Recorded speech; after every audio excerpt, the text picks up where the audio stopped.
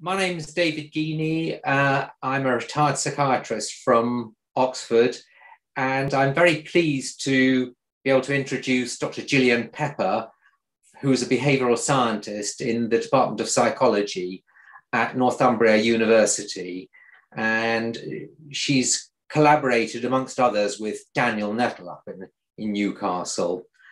Um, she investigates socioeconomic inequalities and the effects upon psychology, behavior, health, and well being from an evolutionary perspective.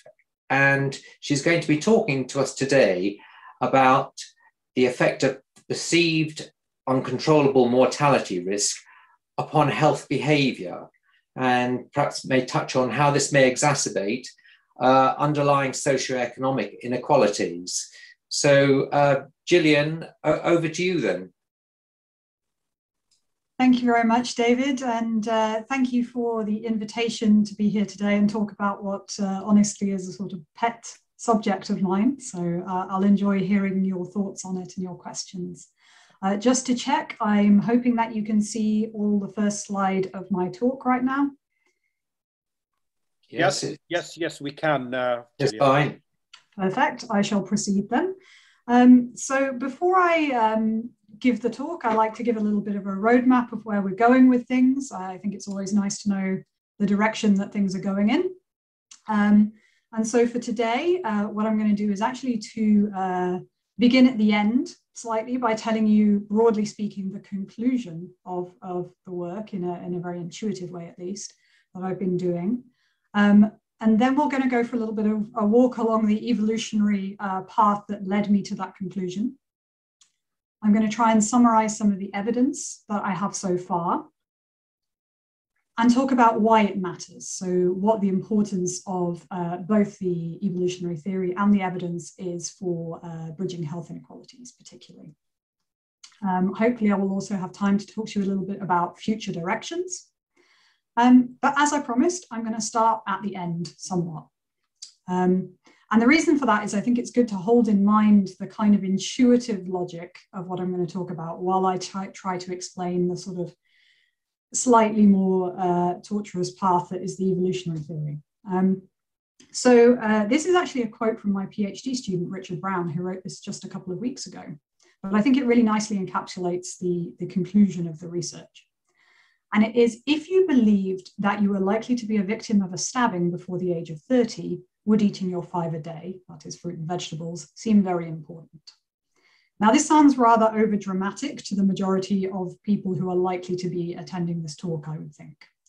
Um, but I want you just to hold this idea in your mind and to be reminded that actually the world is not necessarily a very safe place for everyone. Okay, so we are often uh, if you do feel uh, 100% safe all of the time, we're actually really very fortunate. Um, so I just want to uh, bring to the forefront of your mind some of the threats that exist in the world and that um, some people may be more exposed to than others.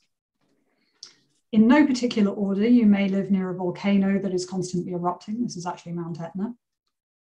You may live in a place that's particularly prone to lightning strikes. Believe it or not, some states in the US, for example, are more prone than others to being struck by lightning. You may live in a place prone to flooding. This is actually uh, here in the UK, in the Lake District. Or a place where uh, accidents are very common, uh, motor vehicle accidents perhaps. You might live in an environment with a lot of poisonous snakes, scorpions, spiders, or, or predators indeed. Um, you may live somewhere prone to tsunamis or to earthquakes. You might, if you're unlucky, uh, live in a place with flammable cladding. So people here in the UK will be very familiar with the, uh, the Grenfell issue and will, will be aware that there are now a lot of people in the country who are living in uh, properties which not only have lost all their value, but are not really deemed safe. Um, and that, that for those people is, um, in a lot of cases, something that's really beyond their personal control at this time. You might be unlucky enough to live in a war zone, in which case the uh, threat of conflict is constant or in a place where um, you're exposed to a lot of forest fires, violent crime, or perhaps disease in the workplace. Okay, so COVID 19 is in the forefront of a lot of our minds, and there are certainly some people who, through occupation, or living situation may be more exposed than others to the risk of such infectious diseases. Now, this is just a sample of risks that we can think about. And I wanted to flag them up because honestly, often when I give this kind of talk to people, it is to people who are relatively fortunate in that they are affluent and educated and rather much in control of where they live and what they're exposed to. But I want you to remember that that's not the case for everybody in the world. Um, and that that is kind of the crux of the talk that I'm going to go on uh, to give. The other thing that I want to remind you of is that because dangers such as some of these, uh, for example, venomous snakes, uh, volcanoes, and tsunamis have been present in our evolutionary past and for some uh, length of time, we're also evolutionarily attuned to detect danger. Um, and I'm willing to bet that when I changed this slide, one of the first things that you noticed was the snake, despite the fact that the snake is really quite well camouflaged. And there's some interesting uh, papers, I've given an example here, about why it should be that we should be able to very rapidly detect uh, animate objects in our environment and the evolutionary pressures for that. So risk is all around us to varying degrees, depending on who you are. And it's something that we're all quite attuned to in terms of our psychology. But why does this matter in terms of uh, health inequalities? So socioeconomic inequalities in health are something which are not unique to the UK. They're in fact ubiquitous in the world.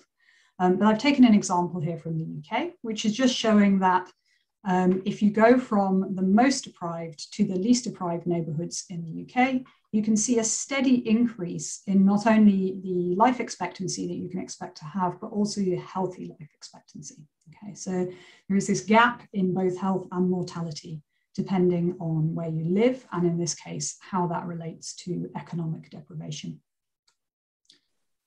And depending on where you look in the literature, there are varying estimates as to the extent to which this gap is due to individual behavior. And the, uh, on average, these estimates say that about 50% of this life expectancy gap is due to differences by socioeconomic status and health behavior.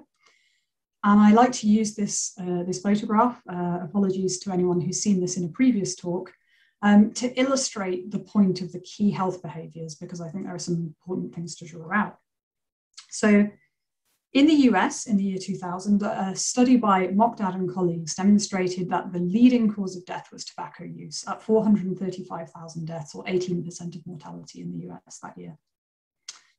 After that, it was diet and physical inactivity. So poor diet and physical inactivity accounting for 400,000 or 17% of deaths. And after that, it was alcohol consumption, a further 85,000 deaths that year. Now, these key behaviors are responsible for an awful lot of that mortality gap that we see, about half, uh, slightly more, depending on your estimate. But it's also a public health puzzle, okay, a conundrum, because uh, it's often been wondered why it is that the people who are already poorest off, who, who struggle with more challenges in society, should also be the people who disproportionately display these behaviors, which are worsening their situation. Secondary to that, you cannot necessarily argue that it's poverty itself that is causing these behaviors. Because if we look at tobacco and alcohol consumption, particularly, these are habits which cost money. Okay. So you actually actively have to pay to do these things, and they're worsening your situation when you're already very poorly off. So a deeper explanation is needed to really understand these things. And this is where I think a little bit of evolutionary thinking can help. So I'm going to talk to you first about um, the evolutionary theory of aging, and then about a model by Daniel Nettle that was inspired by that evolutionary theory of aging. And I'll draw out some of the differences between the two. Now, many of you may be um, familiar with disposable soma theory of the evolution of aging. So I'm just going to give you the broad brushstrokes for those who are not familiar. Disposable theory, uh, disposable soma theory of aging uh, posits that organisms need to allocate um, energetic resources optimally between three key things. The first being growth, and when that growth period is over, the others being reproduction, and somatic maintenance, so uh, cellular and bodily repair. And according to this theory, if we make the assumption that somatic uh, effort is traded off against reproduction, so energy that I invest in repairing my cells cannot be invested in reproduction and vice versa. And we also make an assumption that there is this outside force, which is extrinsic mortality. And that is death that cannot be prevented due to somatic investment. So I find it easy to think about things like predation uh, and natural disaster. Okay, so these are things that no matter how much I repair myself, I cannot necessarily affect with that cellular repair. Okay, so that's extrinsic uh, mortality. And assuming that there is some level of extrinsic mortality, then it can mean that somatic investment is wasted because it's not being spent on reproduction. Okay? And the higher the rate of extrinsic mortality, the more you're wasting your efforts by repairing your, um, your body when you could be putting that effort into reproduction. And it's important to remember, of course, that uh, the number of descendants we leave is, is really the, the currency of natural selection. Okay, so um, selection uh, for perfect repair is therefore unlikely, evolutionarily speaking, and we get the evolution of aging. So that's just a sort of cartoon outline of the theory. Um, but this is a theory that is used to explain why aging might evolve across generations as a trait in species. What uh, Daniel Nettle did was he, he made this uh, behavioral ecological model in which he took that logic of investment in the self being wasted in high extrinsic mortality risk environments, and he applied it to health behavior rather than physiological repair. And what he did was he assumed a certain amount of phenotypic flexibility. So, flexibility within an individual's lifetime rather than evolution over generations, which assumes that we're taking in, in information about our environment, so cues from our environment about things like extrinsic mortality, and using that information to optimize our investment in certain behaviors. In his models, he specifies a level of trade off between investing in health and other things that enhance fitness. Now, when I say fitness here, what I mean is Darwinian fitness, not physical fitness. And importantly, in this model, what he does is he makes this definition, this behavioral definition of intrinsic and extrinsic. So it's no longer about physiological repair, it's about behavior. And what that means is it's about how much your behavior can affect your risk of death. So he parceled out these two things into intrinsic and extrinsic, where intrinsic or controllable risks are those risks that you can reduce by altering your behavior, such as those classic health behaviors I showed you on the earlier slide, things like physical activity, diet, alcohol consumption, and even some simple safety behaviors such as seatbelt use. But then we've got the extrinsic or the uncontrollable category of risk. And those are more things that, regardless of what you do, you may be unable to avoid them. And this is particularly true if you're lower uh, socioeconomic status, so if you have limited income or lim limited education, for example.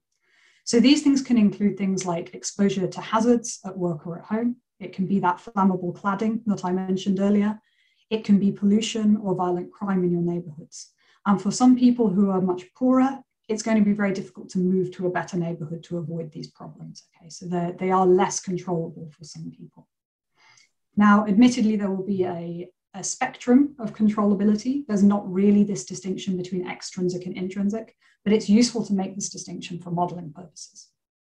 You'll also note that I'm going to switch throughout this talk between using the terms extrinsic and intrinsic and using the terms controllable and uncontrollable. I'm actually doing this because I believe that Daniel's model is something very different to the original evolutionary theory for all the reasons I mentioned on the previous slide. And I like to try and draw that distinction by using different terms, because I think when we use extrinsic and intrinsic, and those people who are very familiar with the evolutionary models, it triggers a slightly different idea and can cause some misunderstandings.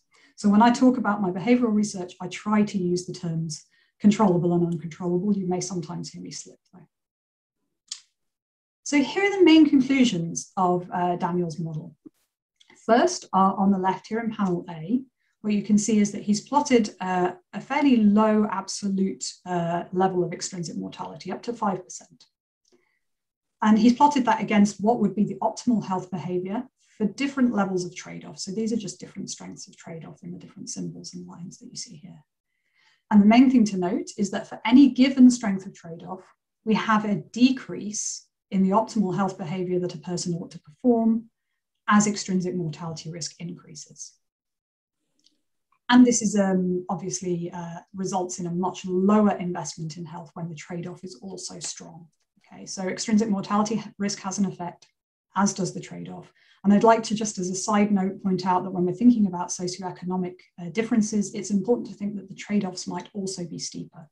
So if you have less money, or perhaps if you have less time because you're working more than one job in order to earn the money you need to survive, you may experience a steeper trade-off between doing that work, for example, and investing your, your time or money in other things like physical activity.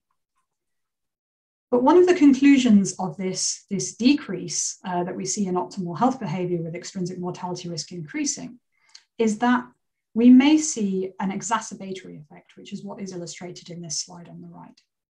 So what that means is that we first have this primary effect of extrinsic mortality risk on your total mortality. So this is just the effect of extrinsic mortality risk on its own. But then assuming that we have this uh, disincentive to behave healthily at higher extrinsic mortality, what that does is that creates unhealthy behavior, which then exacerbates the effect, giving you an overall greater risk um, of uh, mortality. So this is sort of the behaviorally driven bit in between the wedge here. And so hopefully I've now convinced you that there is a theoretical reason to expect that we might reduce our efforts uh, towards health behavior if we've got this sort of perception of uncontrollable risk. And now what I want to do is just to point out that people of lower socioeconomic status are disproportionately exposed to a whole range of risks that might be considered uncontrollable. Um, these include things like uh, air pollution, uh, lead, tobacco smoke, inadequate and unsafe housing and residential conditions, unsafe working conditions, which are greater if you're a manual laborer, which by definition would make you lower occupational class. And one of the most striking ones, actually, I've, I've, cited all the sources in the bottom here, but one of the most striking ones to me is a paper by Shaw and colleagues in 2005 on violence, which showed that people in the poorest 10% of neighborhoods in the UK have a five-fold greater risk of being a victim of violence than people in the wealthiest 10%, which for me is really quite striking. And of course, more recently, uh, we've seen an impact of COVID-19. Uh, now, this is actually from very early on in the pandemic, the slide that you can see here. But what it shows is that we see uh, in people in the most deprived uh, neighborhoods in the UK, a disproportionate uh, number of deaths related to COVID 19. So we know that there are a whole uh, range of factors that might be affecting people and increasing their perception of extrinsic or uncontrollable mortality and disincentivizing their health behavior. But one of the things, obviously, that we need is to have some evidence of that. And so uh, I'm going to talk you through some of the, the evidence that I've collected. Uh, the first was a piece of observational or sort of correlational evidence. And what I did was I needed to devise a measure for this concept of, of control over mortality risk or of extrinsic or uncontrollable mortality risk. And I adapted a, a phrase that's been used in, in previous studies like the health and retirement study. And I asked if you made the maximum effort that you could to look after your health and ensure your safety, what do you think the chances would be that you would live to be 75 or more, where zero is no chance and 100 is certain certainty to live beyond that age? Now, bear in mind, I've used the age 75 here because that was actually the wording of the original question, which didn't ask about maximum effort, but just general perception of living that long. And this is the threshold below which uh, a death is considered premature, the age of 75. Um, I also ask people if you made no effort at all to look after your health and safety, and um, what do you think the chances would be that you would live to be 75 or more, again, from, from zero to, to 100? Now, um, previous studies have shown that responses to questions of this type do in fact behave like probabilities and tend to correlate uh, with meaningful things such as socioeconomic status. Um, and you can imagine that we have this axis then of odds of survival or, or odds of premature death, depending on which way around you want to look at it. And you may have total certainty that you're going to survive uh, beyond the age of 75. Or you may have something below that. And you're, certainly your maximum effort ceiling could be some portion beneath 100% certainty. And the difference between 100% and maximum effort tells us what is the portion of your survival odds that you feel unable to affect with your behavior. Okay, so no matter what you do, there is some degree to which you feel you can't necessarily ensure your survival beyond 75. Similarly, with minimum effort, this gap between minimum and maximum tells us the proportion of our overall mortality risk that we uh, can affect or that we believe we can affect with our behavior. Okay, and that's the perceived controllable mortality risk portion. So what I did was I took this measure and surveyed uh, 600 people in America via a company called SocialSci.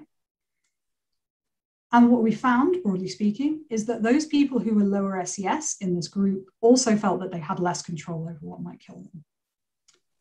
Secondly, they reported making less effort to look after their health. And this association between SES and effort invested in health, so just self reported, was completely statistically accounted for or mediated by the perception of uncontrollable mortality risk. And just to drive home the scale of the effect that I'm talking about, I like to visualize this uh, in the diameter of a circle. So imagine we have our model, it contains income and socioeconomic status, age and gender, but also perceived uncontrollable and controllable mortality risk, all of these things together to predict health behavior. And in this model, the effect sizes that we get out look something like this. It's a tiny little effect of age where that, uh, the diameter of that circle is a partial eta squared. A slightly larger but still small effect of sex. No effect of either SES or income is actually visible in this model once we've got perceived uncontrollable mortality risk in the model. Perceived controllable mortality has a somewhat bigger effect, and perceived uncontrollable mortality had such a big effect in this particular model that we cannot even fit the size of that on the screen. And this is just to give you the idea of the extent to which in this correlational study, this seems to be important. But this is only a correlational study, okay? Correlation does not imply causation. Um, and certainly um, we didn't measure any actual health behavior, we, we just measured self-reported health behavior. So I wanted to follow up on this with some experiments. And what I did was I used a cover story of something that was big news at the time, which was the Public Health England's Longer Lives website had been released and had shown these kind of large disparities by area in terms of life expectancy. And I said to my participants in my experiment that I was going to try and find out what was driving this difference. And I asked people to give their age and their gender and their postcode and I told them that this was being matched to some information in a database. Of course, this was not. This is a randomly allocated experiment. Uh, and people were fully debriefed afterwards uh, for ethical purposes. But for a short while, they thought they were being given information matched for people like them, people of their age and gender from uh, their postcode. And what they got was a prime that was either an uncontrollable or a controllable risk prime that looked like this. Okay, so this is the uncontrollable example. It says statistics indicate that on average, blank your old blanks, so imagine your age and gender inserted there, in your postcode area, imagine your postcode in the brackets there, die 13 years younger than blanks of the same age in the rest of the UK. The reasons for this are unclear and may be due to factors beyond individual control, such as traffic accidents and air pollution. And we want to understand more about why this is happening, so please answer the following questions about your health. So this was the uncontrollable example. We also randomized a controllable one where people were living 13 years longer. We asked people to fill out some questions about their intended health behavior in the future.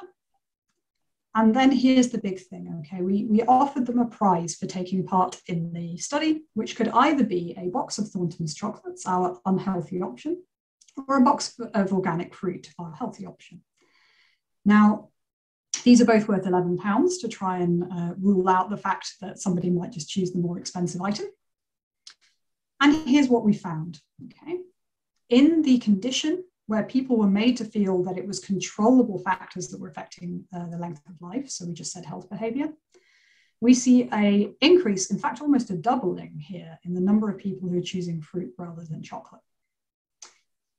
However, this was just an initial pilot experiment, and I had been keen to make sure that we could see some kind of difference in people's behavior.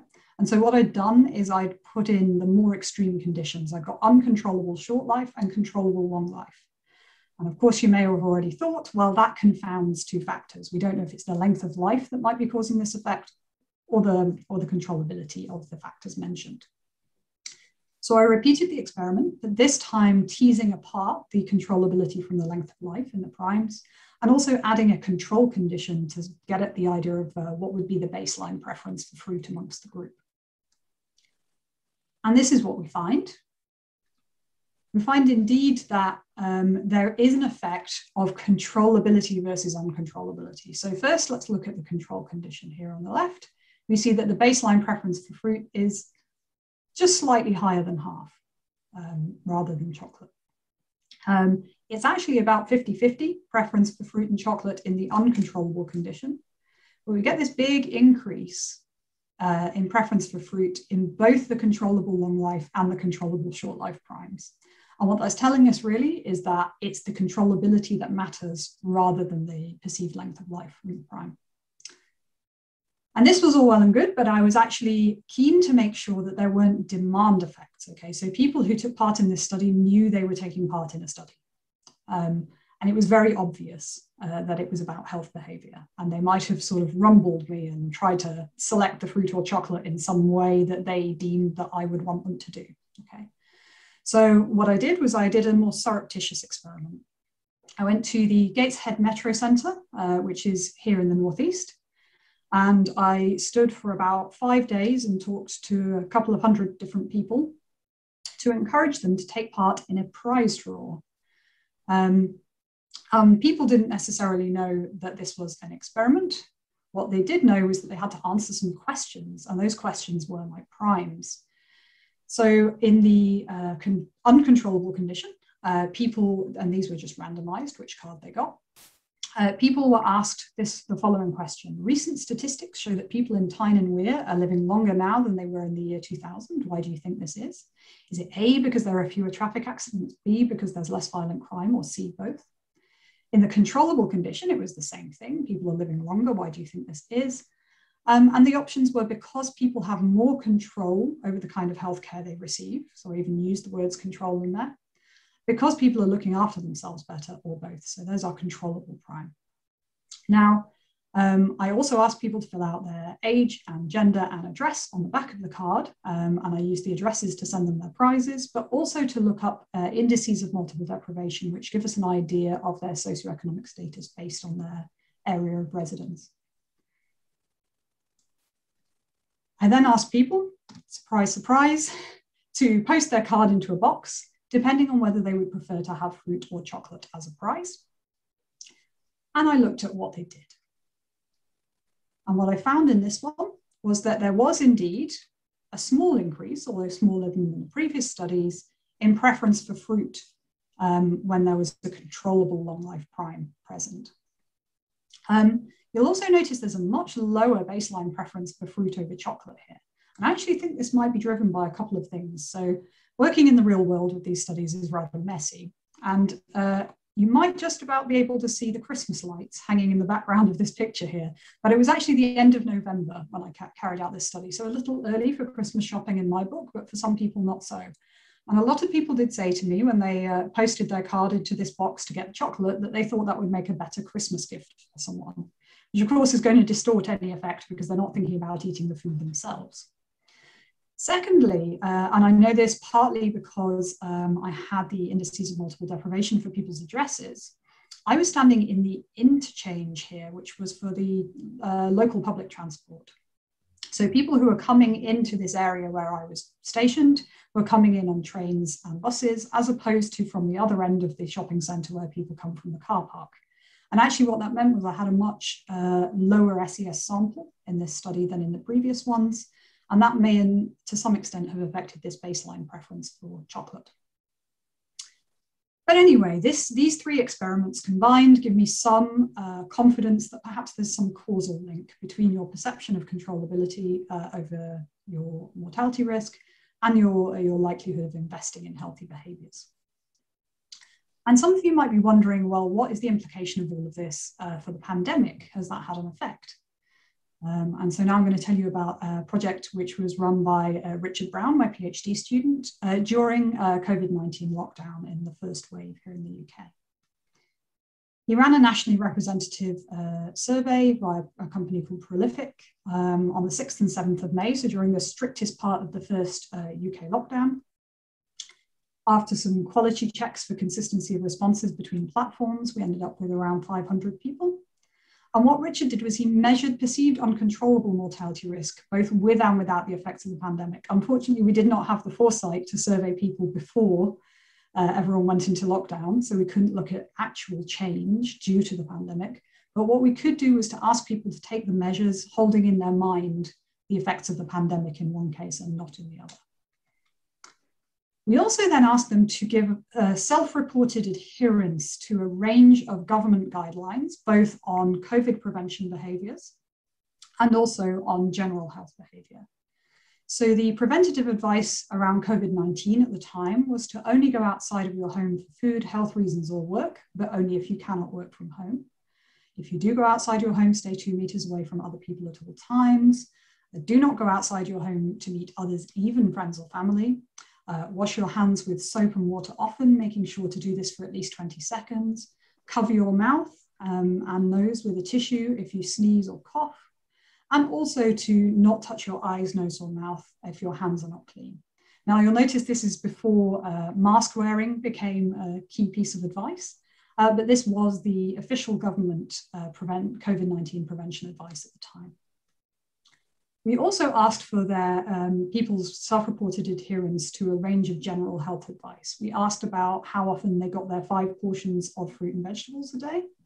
We asked uh, how often they adhered to the advice to not drink more than 14 uh, units of alcohol in a week.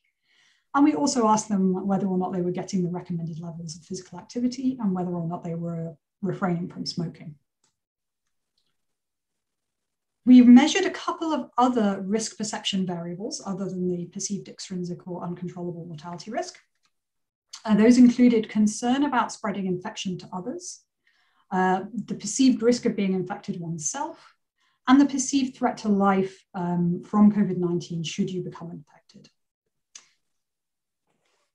We did find that there was a significant difference between people's uncontrollable and control, um, uncontrollable mortality risk taking into account the pandemic and not. Okay, so a significant difference between when you're uh, thinking about the pandemic and when you're thinking that trying to pretend the pandemic doesn't exist, which I appreciate is not ideal, but it was the best we could do. What we found here was um, almost a 5% increase in perceived uncontrollable risk, which on the face of it sounds quite small, actually. You think, oh, okay, you know, big global pandemic, only 5% increase in perceived uncontrollable risk. But actually, if we just briefly go back to Daniel's original model, these models, uh, this model here is actually for a low level of extrinsic mortality risk, okay, up to 5%. And we still see really quite meaningful, potentially very impactful effects from that low level of absolute extrinsic mortality risk. So actually, potentially 5% increase could have quite an impact on health behavior. But what did we find with the data? So first things first, let's talk about compliance with COVID-19 advice. Uh, one thing to note, which I think was rather comforting, uh, even though this is only self-reported adherence, is that self-reported adherence to uh, compliance uh, with these guidelines was generally very high. Okay, so the majority of people said that they were always or almost always complying with things. There's a bit more variability here around not touching the eyes, nose, or mouth, which I think we can all understand. I think that's somewhat of an automatic behavior. It's very much harder uh, to avoid doing. We found that perceived uncontrollable mortality risk was not a predictor of any of these measures, okay, which actually we sort of expected because this is an unusual situation. It's not um, health behavior that only affects you. There's also the effect that it has on others and the spread of the disease, which makes it a little bit different to something like your diet. Um, but we were still interested to see whether it would have an effect, and it doesn't. What does have an effect is being male. So men, uh, self-reported, of course, uh, said that they were significantly less likely to adhere to these hygiene behaviors. So washing hands for 20 seconds or more, covering the mouth when coughing, and not touching your face. We also found that perceived threat to life uh, increased compliance with all precautions. So people who thought that catching COVID-19 was likely to be fatal were much more likely to ad uh, adhere to advice. And concern about spreading infection uh, was predictive of some things, such as staying home, hand washing, and covering the mouth. And what about general health advice? so what we see here is much, much more variable compliance in general. So unlike the, um, the COVID-19 prevention behaviors where we see generally very high compliance, here it's very varied, okay? So uh, for example, with diet, we get a sort of full rainbow effect here of people um, complying mostly somewhere in between always and never. We do see uh, something quite predictable with smoking, which is that it's the least variable, um, which doesn't surprise me at all. You're either a smoker or you're not. Um, and we see a proportion of people reporting some smoking that are roughly is roughly in line with the amount that you'd expect uh, based on um, data that we have about the proportion of smokers in the population. But here gets the interesting part. So firstly, compliance with government diet advice was indeed associated with perception of uncontrollable risk. Um, here are just the odds ratios. And what you can see here is that it's really, it's much higher um, perceived uncontrollable mortality risk at the end where people are not complying, whereas people who always comply with this dietary advice have much lower perceived uncontrollable risk. I just want to remind you all that because we don't have longitudinal data, we can't necessarily say that any difference in, we can't say that there's any difference in this behavior due to the pandemic. We can only say that there's been an increase in perception of an uncontrollable mortality risk and that that is associated with this behavior.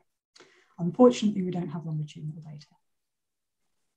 So when it comes to physical activity, we also see a significant effect, and there are your odds ratios, um, which is quite strongly driven by this dramatically sort of higher uh, level of perceived extrinsic mortality risk amongst these people who never do anything uh, to, to comply with the physical activity guidelines. We also see that um, there is uh, a greater likelihood of doing some smoking amongst people who have higher perceived uncontrollable risk.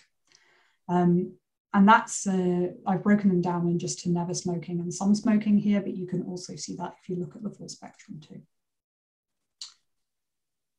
Interestingly, there was no association of perceived uncontrollable mortality risk with uh, adherence to the alcohol guidelines. Um, and that's actually uh, fascinating for me for a couple of reasons. And one is actually that we don't tend to see the SES difference in our alcohol consumption when we just look at mean consumption of alcohol levels.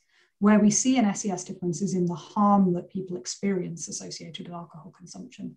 And so that's, that's an interesting thought for me, but we can come back to that later potentially. So why am I telling you about all of this theory and all of this evidence that I've got? Um, um, I think the most important thing is it has some interesting and important implications for health inequalities.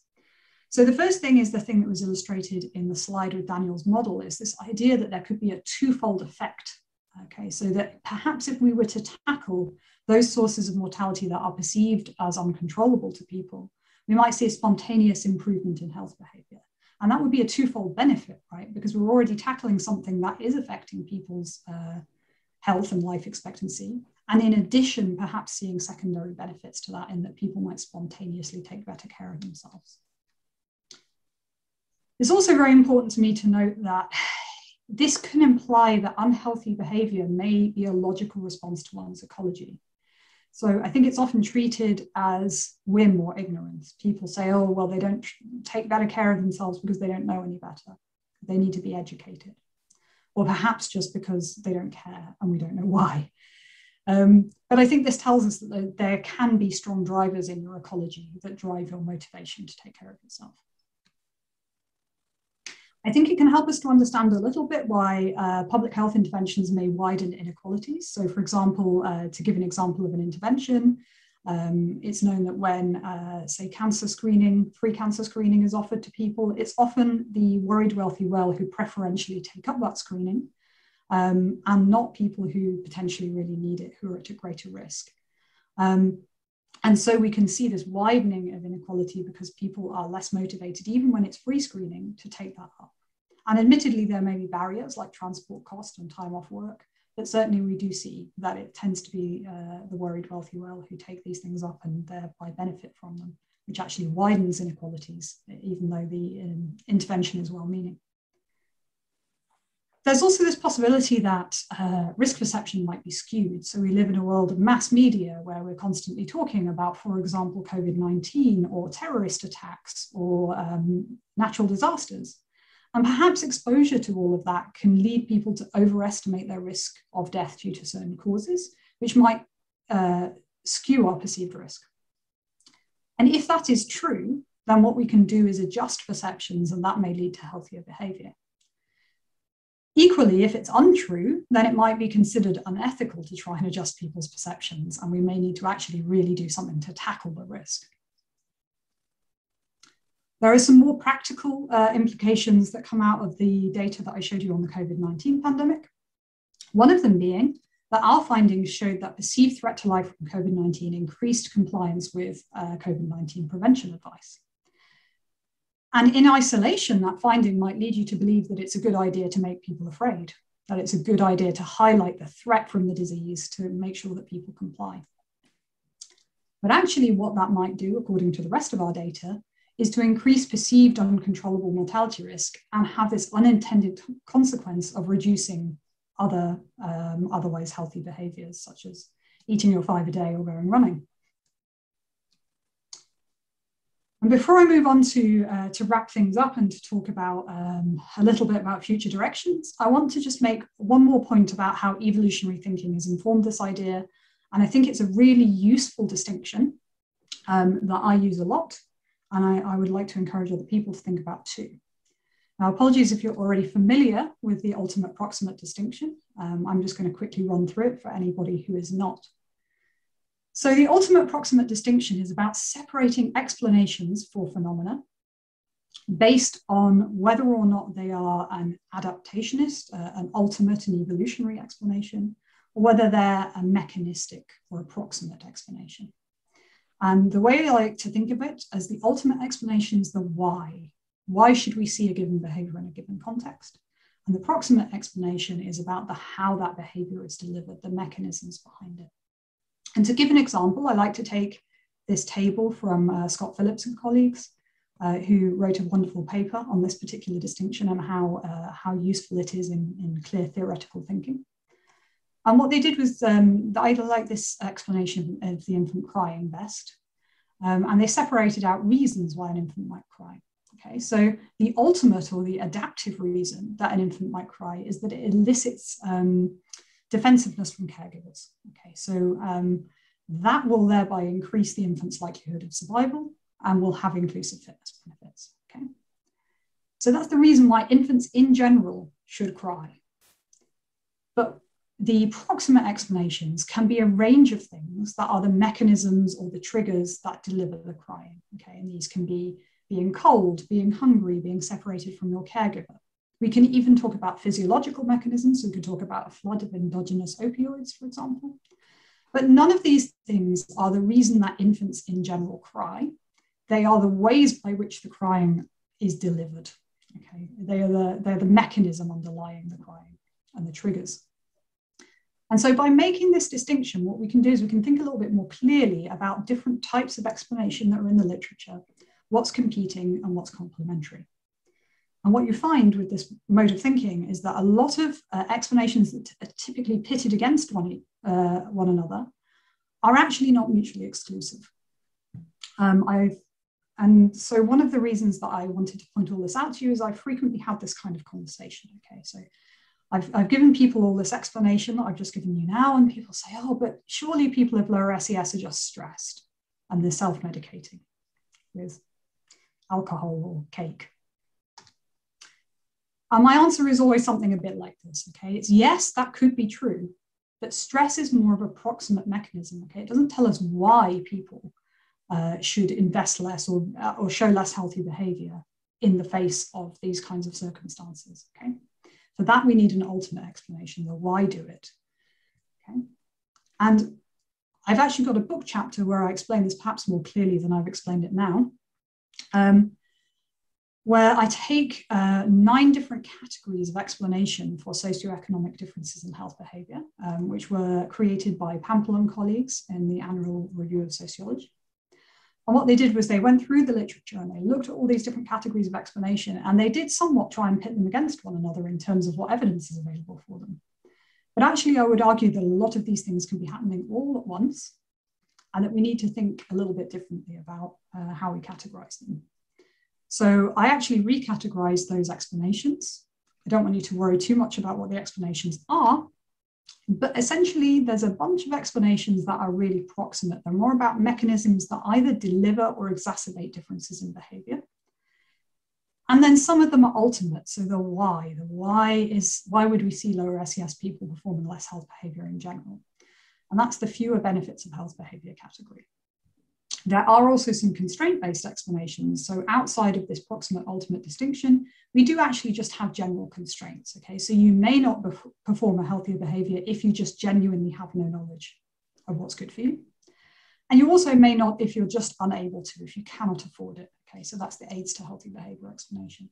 But in general, I find that this way of thinking about ultimate and proximate is really useful to make distinctions. So not to labor on that too much further, um, I would like to just talk very briefly about some of the things that I am planning on working on in future around this area.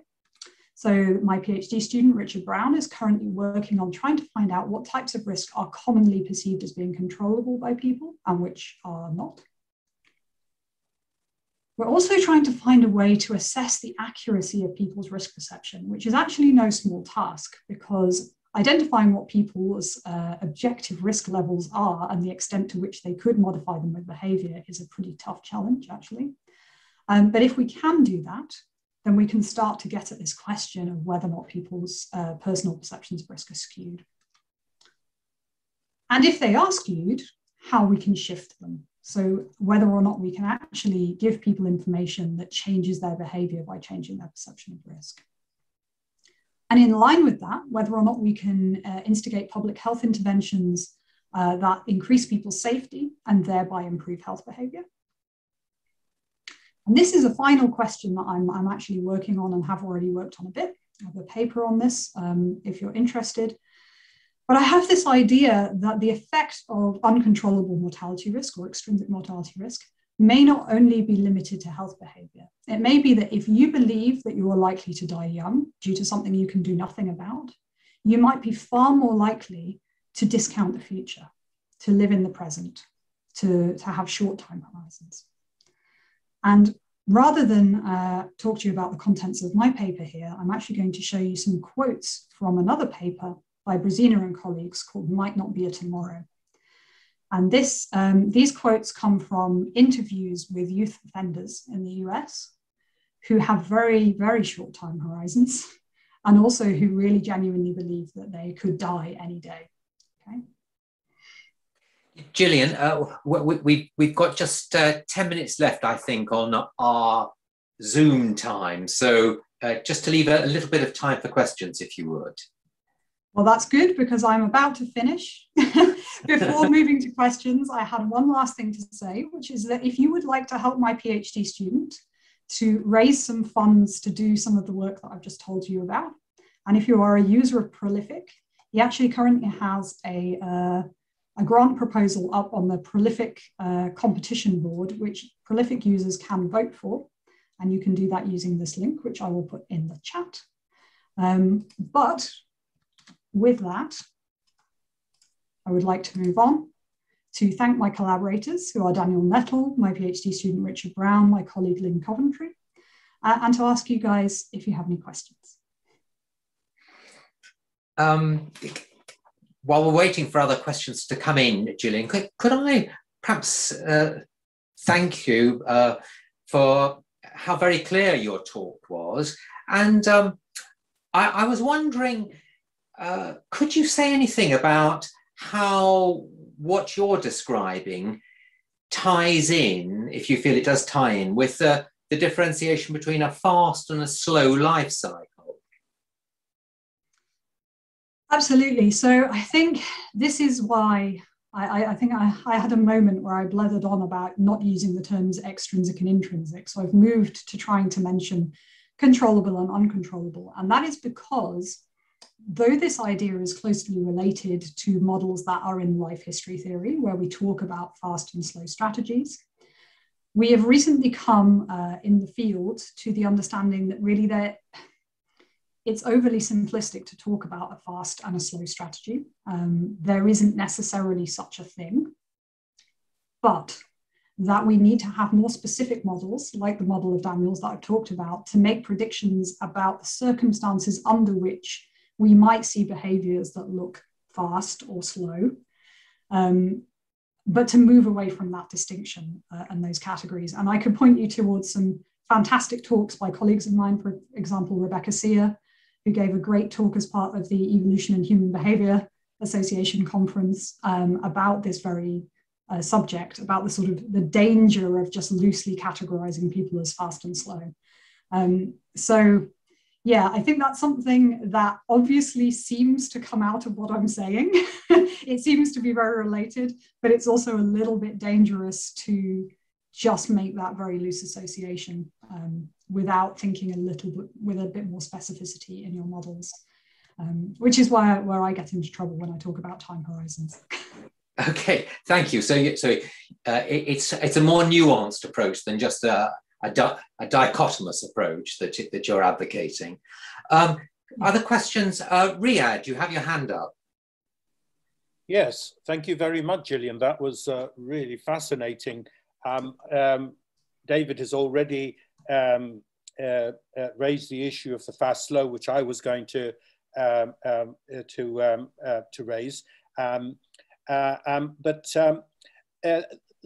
the other thing that um, I um, uh, note that you, you, you, haven't mentioned is the issue of mismatch uh, mm -hmm. and whether you think that is um, playing a role uh, here in the um, uh, uh, in, um, in the increased mortality and um, um, uh, is it possible that that the the stress of uncontrollability or the reduced autonomy that is inherent in having a low socioeconomic status, having having a uh, uh, uh, having a job that you you you you, you have little uh, um, controllability or little autonomy uh, in, uh, or not having a job at all and having even less autonomy with regards to um, how you you get your income and so forth could it be that there, there is an, uh, an inherent element there of, um, of the effects of stress that has its um, uh, health consequences regardless of health behavior? Absolutely, and that's one of the other things I've been studying actually. So I've recently been writing up a paper where I've been uh, looking effectively at early life adversity and how that relates to biological aging uh, in younger adults, actually. And it's possible that some of that health impact, or maybe even a great deal of that health impact, is just due to the straight stress. Um, but what we get from, as I said earlier in my presentation, from the different estimates that you see in the public health literature, is somewhere between 40 and 60% of this um, gradient is, approxim- is approximated to be due to health behavior. Um, now, obviously, there is a, a, margin of error for these things, and uh, it depends on how you measure health behavior, how you measure stress, um, sure. and how you measure socioeconomic status. And there are so many ways to do those things. Um, but I think yes, there could also and, be a direct. And, and where where do you stand on the question of relative as opposed to absolute um, a sort of poverty and uh, disadvantage and things like that, where some, such as Robert Sapolsky, uh, say that it's the relative uh, disadvantage that matters, um, not the absolute disadvantage. Um, uh, and, you know, others have contradicted that. What, where, where do you stand on that? So um, I am actually still on the fence about that one. I think the uh, the proof will be in the proverbial pudding. We need to test it more. Uh, certainly, from a theoretical standpoint, as you say, uh, there are people like Robert Sapolsky arguing for the relative being very important. Um, my colleague Daniel, he has written an interesting book chapter that talks about theoretically why we might see the same result. We might see associations with something like inequality and um, health from actually um, an effect of absolute poverty. So Daniel believes that these, what looks like a, a, relative effect can emerge from actually just an effect of absolute poverty. I am still not sure, and I think we need to test these things empirically to be certain, more so than we have done. There, there is plenty of nice evidence. So um, I have a colleague, Sandeep Mishra, who's done some really nice stuff looking at the uh, effect of experimentally priming inequality um, on what that does to uh, risk-taking behavior in the lab. Um, but I think there's just a lot more work to be done to really disentangle what's going on in the real world as opposed to in the lab. We've got uh, two or three questions. I don't know whether we'll be able to fit them in, but if I can ask that if the questions are and the answers are succinct, we might succeed. Uh, Robert Davey. Is Robert Davey there ready? Maybe you're muted, Robert. No? Uh, if, yeah, if Robert... Can you hear me now? Yes, we can. Oh, okay. Yeah, he's to talk. Oh.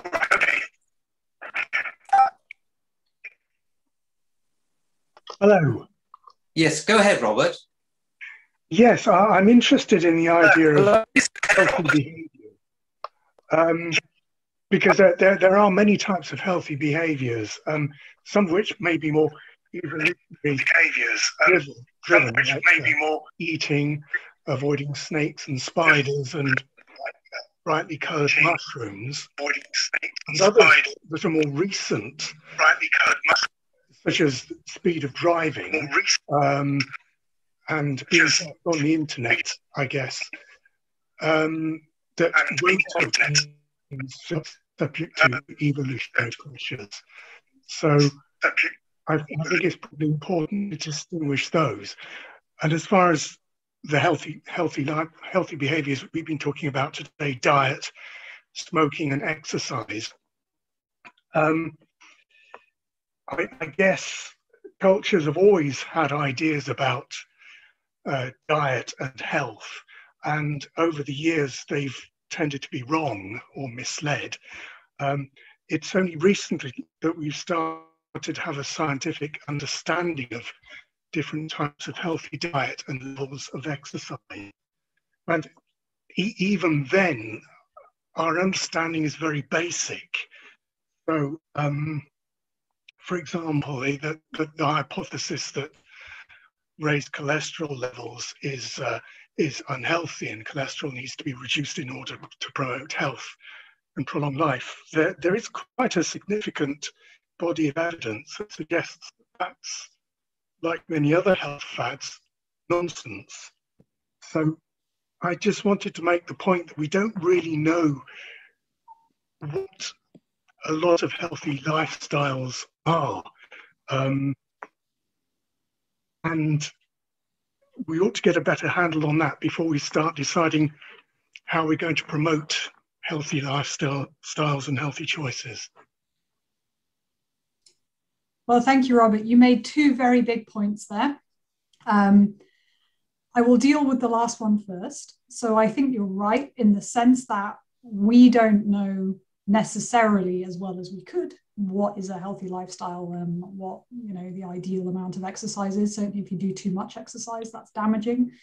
Um, i've been reading about overtraining uh, in, a, in a, a, book by a colleague recently and that has some some really drastic effects on you.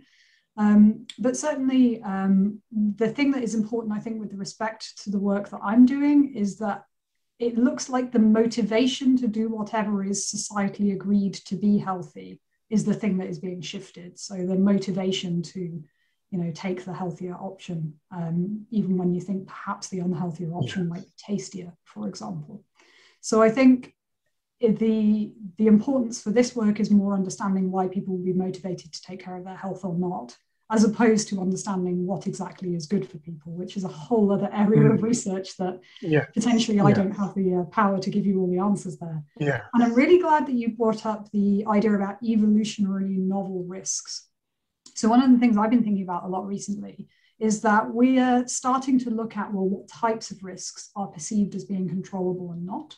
And there are some risks that are novel and therefore people don't behave in ways that you might expect with them. So, you mentioned um, things like driving.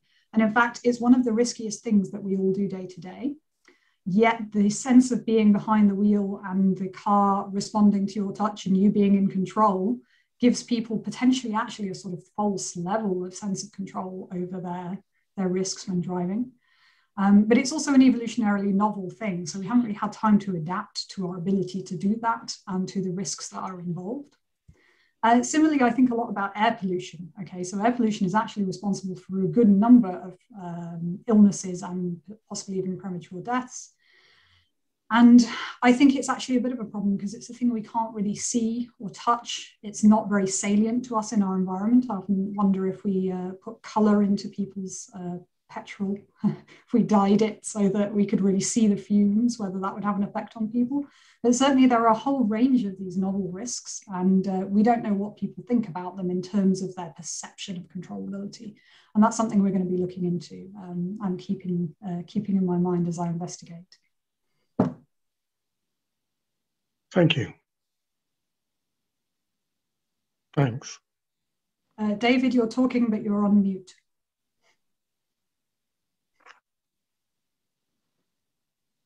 You need to unmute, David. Yes, my apologies. Uh, Nikhil uh, has his hand up. If you're there, Nikhil, um, do you have a question? Yes, can you hear me? Yes, very clearly. Okay, great. Um, just Okay, I don't know whether you can see me, but thanks for that, Gillian. Uh, I really enjoyed that, and and I've really enjoyed following your work generally with uh, Daniel. My question, since I've been reading your work, has always been, I know you alluded to it, but about proximate mechanism, because especially when it comes to the priming studies, it's just fascinating that you know a five minute exposure to a prime or whatever it may be is enough to induce these shifts in behavior, like with, with the chocolate or fruit. So, firstly, I was wondering whether you could comment at all on any speculative proximate mechanisms, particularly when they're that acute and fast acting. And then the other aspect I wanted to get at with the proximate mechanism is that it seems like a lot of your studies are to do with perception of risk. And I was wondering how you think perception is sort of interacting with real risk um, and acting as a mechanism or, or the the uh, sort of stimulus for a mechanism rather than real risk.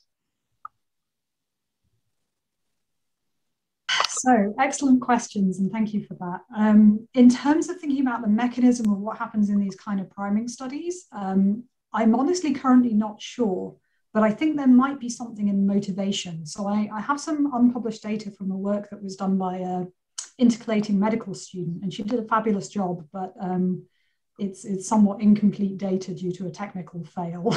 but what was indicated initially due to that data was that the primes that you saw earlier, uh, that I talked about in one of my previous studies, seem to shift behavior, but not liking for healthy food. So we actually, we got people to look at the similar kinds of primes to the ones I, I showed you earlier, and uh, then rated their preference for a range of different foods, uh, some of which were very healthy and some of which were not. And there was absolutely no effect of the prime on how palatable the foods looked to the, these people. Um, but then we did see a hint of change in behavior when given a choice um, of a range of foods to people actually had to go on to uh, the Tesco website and buy some of these foods, um, and they would actually receive them as well. So it was a real choice. Um, but it seemed the, the, the, behavior shifted, but the preference didn't. So it, um, to me, that suggests there might be something motivational happening in the sense that you might not like fruit anymore after being presented with one of these primes, but your motivation to eat it, despite not particularly liking it, but presumably knowing it's thought to be good for you, right, um, is is potentially being shifted. Now, I'm saying that very tentatively based on some, some data that a student of mine collected that I haven't actually been able to analyze because she lost some of that data, unfortunately. Um, and I'm going to have to run more studies on that. Um, but I think you raise a really good question. I think we need to start to look at what is that shift. Um, I've also hypothesized in some of my work that it might be a time horizon shift. Um, but I'm not sure that that's necessarily going to be the mechanism underlying the food choice. It might just be a thing that accompanies it. Um, and again, it's all up for grabs. One of the things I love about this area of research is there are so many questions and so so few people actually looking at this particular question from this perspective. And I think this is again why I think the evolutionary perspective is really valuable. Um, and I'm not sure if I can really answer your second question either about the uh, accuracy of risk. And I think one of the problems is, is because actually it's really, really difficult to get objective measures of risk, particularly when we're talking about how uh, people's behavior affects that risk. So the closest thing I've found, and I'm, I'm taking a look at maybe using this data in a secondary analysis now, is some data by uh, the Global Burden of Disease Project, which is a huge collaborative project, where um, people have actually uh, identified the extent to which causes of mortality um, can be uh, accounted for by types of risk which are attributable to behavior. And they've done lots of regression models and absolutely just phenomenal work has gone behind it. It's a huge, very big, very expensive collaborative project that has done this work. But they're starting to get closer to this sort of a methodology which might be able to indicate the extent to which someone's behavior can impact their risk. But that's on, a, on an aggregate level, you know, societal level. It's not on an individual level. And the very point of the stuff I've been talking about is the fact that actually there might be quite big individual differences with things like socioeconomic status in terms of how much control someone has as an individual. And that that's really hard to pin down. So life's work potentially. Yeah. Okay. And, and, perhaps a final question from Annie Swanepoel, who's asked uh, what your thoughts are on the climate anxiety that youth struggle with, as many think they won't grow old. So, a very contemporary question. That is, and that's a really fantastic question. And it's something that I want to think about. So, um, I mentioned the Global Burden of Disease Project data, and part of the reason I mentioned that is that some of those data are about environmental risks, um, some of which are risks due to climate change uh, that people face um, and the effects that those might actually have on, on things like mortality risk. Um, I think it, it's actually something that makes me very sad because the climate issue is something that no individual really feels they can tackle. Um, I don't know uh, if any of you are like me, I'm actually quite concerned about climate change. I do my best to be environmentally friendly, but at the end of the day, I feel that I alone can't really do very much. And so this is the ultimate, really, in sort of uh, perceptions of lack of control, really. Um, you, you tend to feel that no matter what you do, there will always be, you know, the Shell Corporation ruining it for everyone. So um, I think it's a really it's a big issue, and it could be uh, psychologically impacting uh, quite a lot of people, and particularly young people. I've noticed my students are actually very very attuned to these issues as a generation.